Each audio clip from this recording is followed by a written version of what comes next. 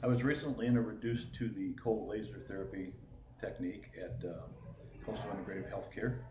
I've had back pain for all of my adult life, and the first time it was done, the tech said, You'll probably feel something in about four to six hours. That was at noon on Monday. Uh, I've always had this nagging backache all the time, it's just been there in the background. About six o'clock, we were eating dinner, and I realized my back didn't hurt. There's no pain whatsoever, and I could not believe it.